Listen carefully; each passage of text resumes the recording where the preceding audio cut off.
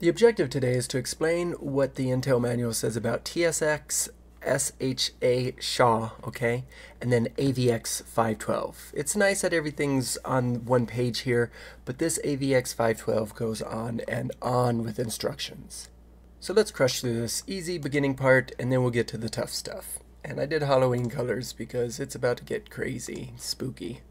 Intel has SHA-1 stuff, and yet there's collisions, so it's broken. We're not supposed to use SHA-1 anymore, but it's there. But I'm getting ahead of myself. Let's talk about transactional synchronization extensions. Simple questions to start.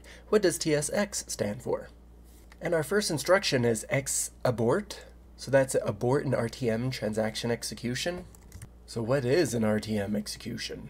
The next instruction is X acquire, so this is a prefix hint to the beginning of an HLE transaction region. And then we got X release, X begin, X end, and X test. So that's a nifty little cute small set of X instructions all about transactional synchronization extensions. Let's get to the good stuff, I could hardly wait. These SHA extensions provide a set of instructions that target the acceleration of the secure hash algorithm. So there's four of these SHA-1 instructions. I will skip them all, and I'll just jump down to the three 256 ones, because those are the good ones. So SHA-256 MSG1 means um, we will be performing an intermediate calculation for the next four SHA-256 message D words.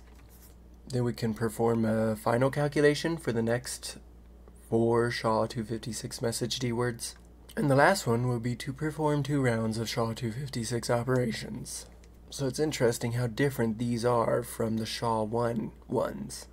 And at the time of this video, the detection of collisions from SHA-1 is relatively new, so I wonder how Intel reacted when they had learned about this. I mean, they created special instructions just for it. So let's go with this for a question. What does SHA stand for? And they set it up here. It's a secure hash algorithm. So let's go ahead and get on with our AVX 512 stuff. This comprises a collection of 512-bit SIMD instruction sets to accelerate a diverse range of applications. Alright, so we're accelerating here. Uh, AVX 512 instructions provide a wide range of functionality that support programming in 512-bit, 256, and 128-bit uh, vector registers. Okay, so that's easy. It just, it can go below 512 if necessary. And they put plus support for op mask registers and instructions operating on op mask registers. So what are op mask registers?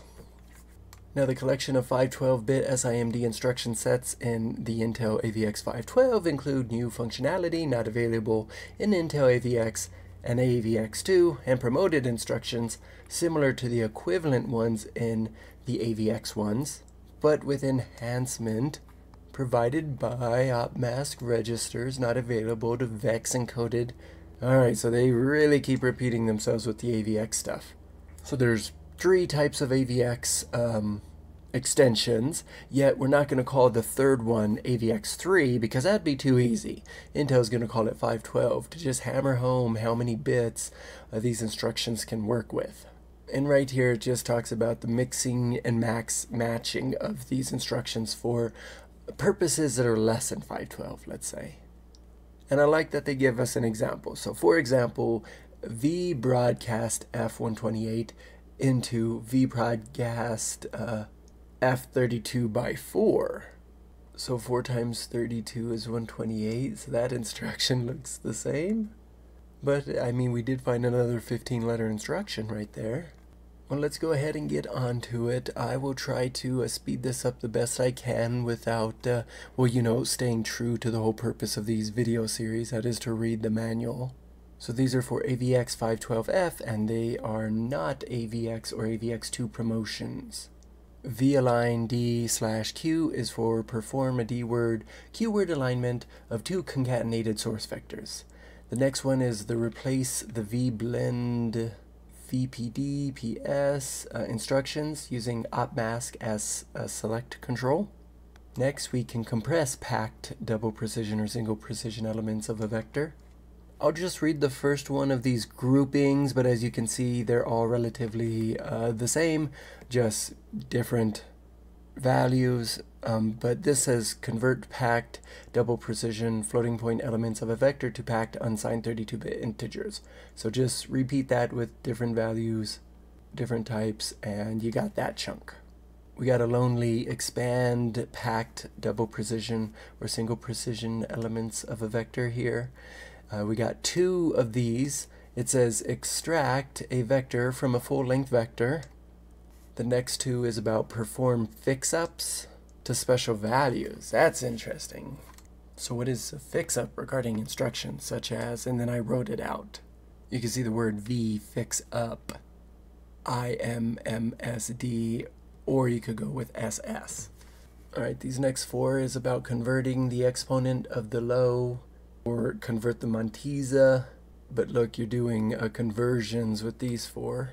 Here's a lonely insert 128 or 256-bit vector into, a full vector.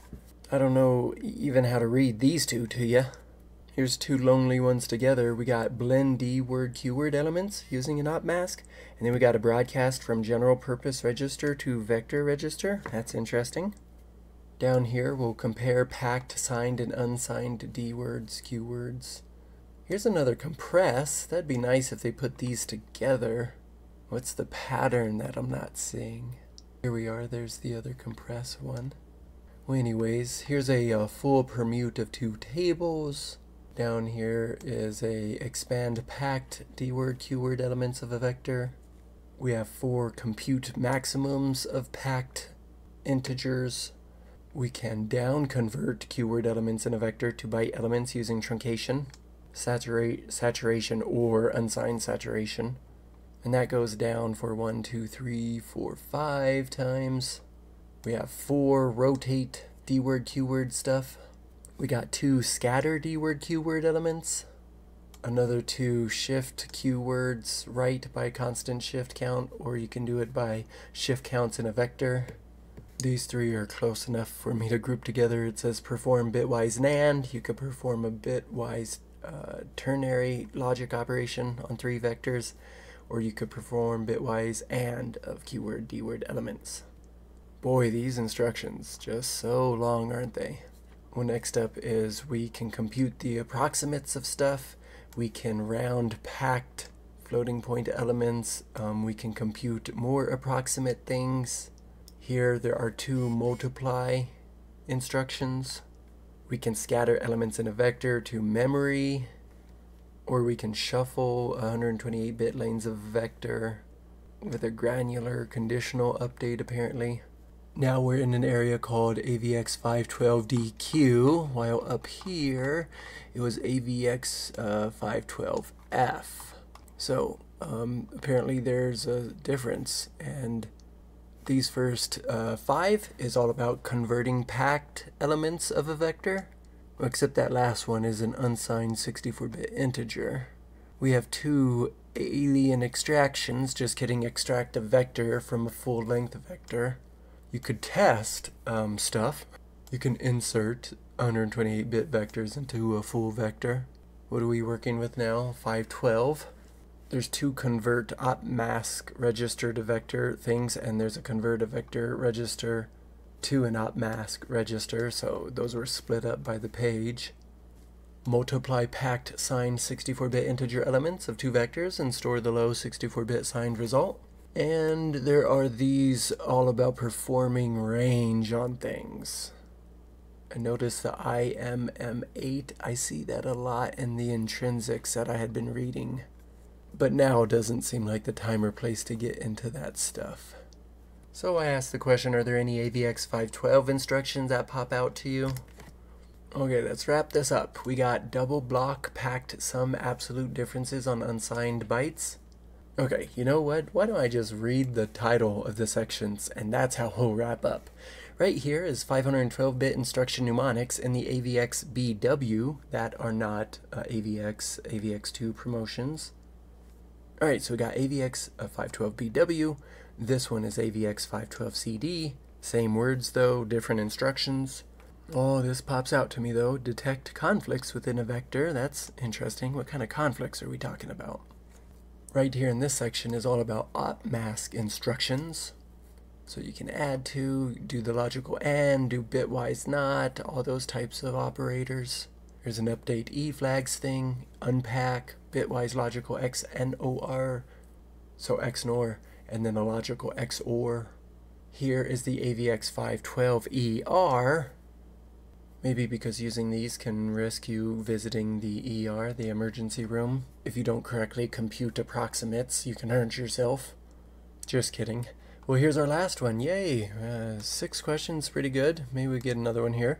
Uh, this is the mnemonics for the AVX512PF. So sparse prefetch of packed vector with these hints. Okay, let's do that for a question. What is a T0 or T1 hint? And with that, we can finish this video. Next time, I'll talk about system instructions.